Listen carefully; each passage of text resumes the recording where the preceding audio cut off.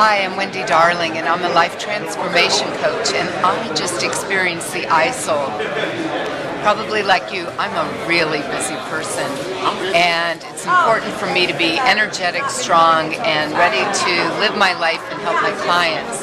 And after literally seconds of putting on the iSoles, I was rejuvenated, I felt stronger. I think this is the greatest thing since sliced bread. It's really exciting.